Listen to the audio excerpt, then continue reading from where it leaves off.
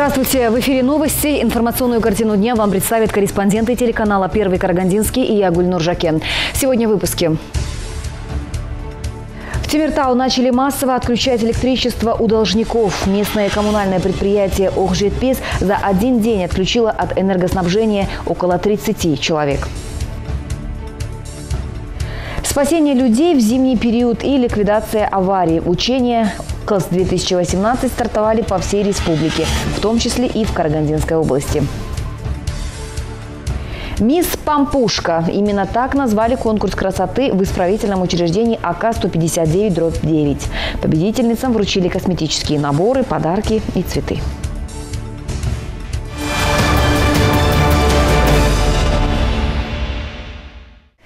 Обо всем более подробно. В Тимиртау начали массово отключать электричество у должников. Местное коммунальное предприятие «Укжетпес» за один день отключило от энергоснабжения около 30 квартир. Отключение проводится, если долги составляют больше 10 тысяч тенге. В настоящее время в Тимиртау порядка 10 тысяч жителей города находятся под угрозой отключения от электроэнергии. Еще около 600 предпринимателей также лишатся электричества. Горожане по-разному реагируют на эту акцию коммунальщиков. Одни относятся спокойно, другие начинают возмущаться и скандалить. Реагируют по-разному. В основном, основная масса знает, что долги у них есть.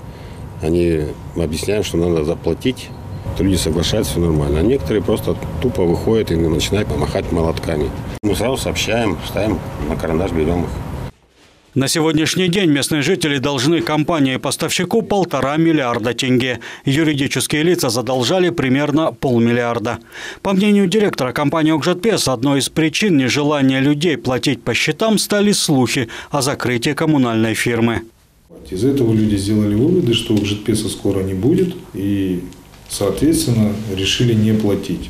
Ну, сразу хочу всех предупредить, это информация, будем говорить так, немного преувеличена, мягко сказать.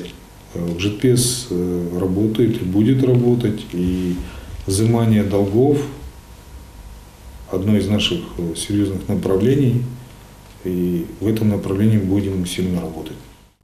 Несмотря на частые угрозы, а также возникший общественный резонанс, компанию по отключению должников руководство Акжетпеса останавливать не намерено. В день одна бригада электриков отключает около 30 неплательщиков. Суммы долгов разные. У некоторых жителей города до миллиона тенге. Все почему-то стараются смотреть э, на соседа. Э, я считаю так, заплатите свои долги. Разницы нет. 20 тысяч или 300 тысяч. В общей сумме, я уже как произнес, уже это складывается в общую сумму полтора миллиарда. Пусть просто каждый заплатит за себя. Вместе с этим коммунальщики заявляют, что столь жесткие меры являются вынужденными, а тем, кто придет и объяснит свою ситуацию, готовы предоставить рассрочку. Андрей Тен, Андрей Тимофеев, Первый Карагандинский. 29 миллионов тенге выделено для нормального функционирования водопроводных сетей в Осакаровском районе. Об этом рассказал Аким района Нуркен Кубжанов на площадке региональной службы коммуникации. Рост экономики Осакаровского района отметил ее глава Нуркен Кобжанов. За два года инвестировано около 5 миллиардов тенге. Немалая доля инвестиций приходится на аграрный сектор, который представлен 600 сельхозформированиями. Проводится работа по возвращению неиспользуемой земли в государственную собственность. Из возвращенных государственную собственность земельных участков через конкурс повторно вовлечены в оборот 61 участок площадью 17 тысяч гектаров. Проводится работа по возрождению орошаемых земель. До 2020 года запланировано ввести в оборот 4600 гектаров. В программу восстановления орошаемых земель вошли 10 сельхозформирований из 5 сельских округов, расположенных вдоль канала имени Хана Сатпаева. Все процедурные вопросы по передаче магистральных каналов орошения в республиканскую коммунальную собственность завершены. Одним из самых актуальных вопросов для сельского населения остается работа коммунального сектора. Для нормального функционирования водопроводных сетей в районе выделено 29 миллионов тенге. На брифинге затронули тему водоснабжения поселка Молодежный, где периодически происходит отключение питьевой воды. Глава района отметил, что отключения связаны с ремонтом водоводов. И на сегодня мы ремонтируем ту же самую воду, о которой вы говорите, что мы ее отключали. Отключали, потому что мы реконструировали водопровод. На сегодняшний день водоснабжение, в принципе, стабильно подается. А то, что касается благоустройства, ну, естественно, на все денег не хватает. Мы выделили финансовые средства в этом году. Порядка трех улиц мы асфальтировали, те центральные улицы, которые на следующий год мы планируем еще э, порядка 4-5 улиц. Ну, это связано будет с финансированием. Кроме того, начаты работы по реконструкции водопроводных сетей села Шокай. На это из республиканского бюджета в нынешнем году выделено 100 миллионов тенге. Для продолжения работ в данном направлении в отраслевое министерство на ближайшие три года направлено три проекта на общую сумму 900 миллионов тенге. Андрей Тенеман, Кужанов, Андрей Тимофеев, Первый Карагандинский. В Казахстане начал действовать обновленный государственный герб. С 1 ноября вступили в силу поправки в законе о госсимволах. В государственном гербе Казахстана внесено изменение в части написания слова в нижней части с кириллицы на латиницу.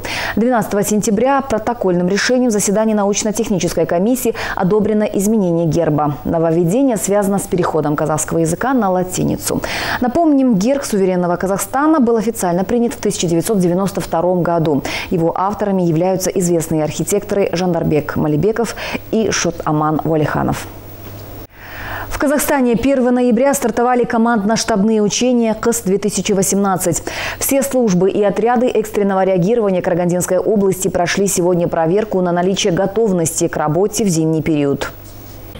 Карагандинская область к зиме готова, уверяют службы коммунального и экстренного реагирования. В учениях КС-2018 задействованы различные службы. Это тепловики и электрики, полицейские и пожарные. Подготовка органов управления средств государственной системы защиты к ликвидации чрезвычайных ситуаций в зимний период началась с 1 ноября. Главная задача – быть готовыми спасти людей и ликвидировать последствия чрезвычайных ситуаций в кратчайшие сроки. Цели и задачами отряда у нас являются это ликвидация чрезвычайных ситуаций природно-техногенного характера, оказание социальной помощи населению, это в виде реагирования на разные ситуации, связанные с угрозой для жизни людей, э, работы по э, предотвращению, ликвидации, эвакуации пострадавших при дорожно-транспортных происшествиях.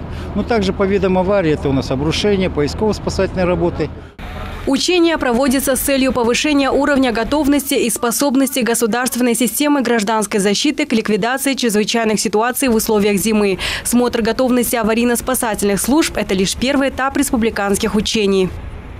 А здесь мы проверили выучку, слаженность действий наших подразделений, а, видим а, наше оснащение – Практические мероприятия будут проводиться и сегодня, и завтра. Сейчас также мы продемонстрируем, э, полевой лагерь э, при чрезвычайных ситуациях. Э, также будут проведены практические мероприятия по спасению людей на воде, по поиску граждан с привлечением авиационной техники, специальной техники, ну и кинологических расчетов. Спасатели отмечают, что в зимний период особую опасность в Карагандинской области представляют затяжные метели. Именно поэтому во время неблагоприятных погодных условий на автомобильных трассах организуются пункты обогрева. Дежурят спасательные отряды. За прошлую зиму в нашем регионе спасатели совершили более 700 выездов на проведение аварийно-спасательных и неотложных работ. Спасены десятки людей. Тохжан Лянова, Андрей Тен, Аман Кужанов, Андрей Тимофеев, Первый Карагандинский. К другим новостям. Новая патронажная медсестра. Министерство здравоохранения Республики Казахстан утвердило новый стандарт организации педиатрической помощи. В городской поликлинике номер 3 прошел семинар для врачей общей практики, педиатров и медсестер. Тема развития ребенка всегда является дискуссионной. Психологи заявляют, проблема в развитии у детей обнаруживается прежде всего на социально-бытовом уровне. Жестокое обращение, непонимание, равнодушие. Все это было известно медикам, однако вопрос оставался нерешенным до сегодняшнего дня. В связи с этим Министерство здравоохранения 29 декабря прошлого года утвердило новый стандарт организации педиатрической помощи. Согласно документу, появляется новая категория – патронажная медицина медсестра. Ее внедрение реализуется постепенно. У всех одинаковый буклет, научно обоснованный, доказанный. Вы должны это выучить, понимать. И вы смотрите, вот у вас экспрессивная речь. Так, что он должен уметь? И если вы видите, что вы вошли в желтый ряд, это значит, у этого ребенка сегодня есть риск. Например, он должен говорить «да, да, да», но не говорит. Желтый риск означает, вы можете матери, отцу спокойно объяснить, вам надо сейчас больше разговаривать с ребенком. Сущность работы патронажной медсестры заключается в полном контроле развития ребенка. Возможным это сделается при помощи эко-карты, разработка которой была научно доказана. Тренер Заурия Успанова остановилась на этом более подробно. Подобное обучение сегодня массово проводится по всей стране. Стоит отметить, что занятия проводят только сертифицированные медицинские тренеры, которые прошли специальное обучение по внедрению новой педиатрической помощи. Андрей Тенза, Сулан Макулбеков, Андрей Тимофеев, Первый Карагандинский. Женщины за колючей проволокой сменили тюремную робу на сценические костюмы. В исправительном учреждении АК-159-9 состоялся конкурс красоты и талантов среди осужденных. В этом году формат конкурса немного изменился. Теперь в нем участвуют женщины размера плюс сайз. По правилам состязания конкурсантки сначала представили свое резюме, отразив свою жизненную позицию. Затем они продемонстрировали дефиле, артистизм, вокал, хореографию и общекультурную эрудицию. Творит, не вытворяет, бегает трусцой, поет, ныряет. И По словам организаторов, осужденным женщинам были предоставлены все условия для репетиции своих художественных номеров. В подготовке конкурсанткам помогли сотрудники отдела воспитательной и социально-психологической работы среди осужденных. Они утверждают, что подобные мероприятия способствуют скорейшему освобождению участниц.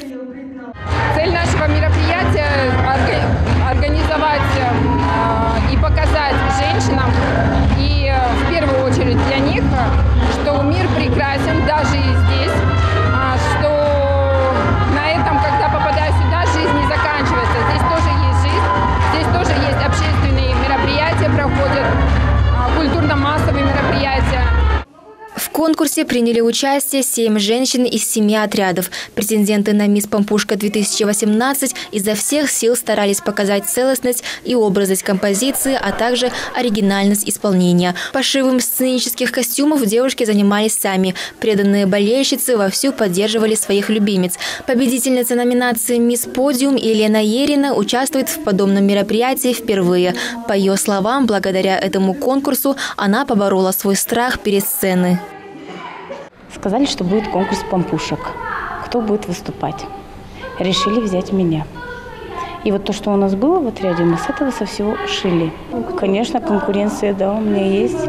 Это десятый отряд и шестой. Финалисткам конкурса были вручены ленты, дипломы и ценные подарки. Напомним, данный конкурс проводится на протяжении 13 лет раза в два года. Мульдир Жакан, Жасулан Макубеков, Андрей Тимофеев, Первый Карагандинский. И еще об одном. Карагандинский футбольный клуб «Шахтер» выиграл у столичной команды «Астана» со счетом 3-1. Матч состоялся 31 октября на стадионе «Шахтер». Таким образом, у карагандинского клуба 32 балла, и он поднялся с последнего места турнирной таблицы. Горняки были обязаны выигрывать, чтобы надеяться на сохранение прописки в числе сильнейших. В этом им и помогла столичная команда, которая уже обеспечила себе чемпионство и прислала в Караганду молодежный состав. Первые минуты гости еще выглядели неплохо, однако затем более опытные соперники сумели захватить инициативу и еще до перерыва забили три гола усилиями Оралхана Умертаева.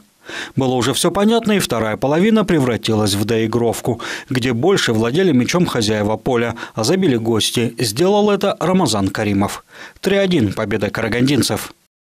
На послематчевой пресс-конференции главный тренер «Шахтера» Николай Костов заявил, что не будет комментировать матч, потому что играли не с основной командой Астаны. Тем не менее, он поздравил своих футболистов с этой заслуженной победой, а также поблагодарил болельщиков. Следующую игру подопечные Николая Костова проведут 3 ноября против Костанайского Табола.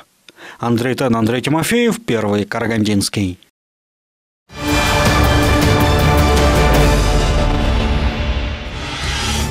Это все, о чем мы успели вам рассказать. Спасибо за внимание. Если у вас есть интересная информация, звоните нам по телефону 42 06 49 и смотрите наши новости на сайте канала. Всего доброго. Аман Соболнгстер.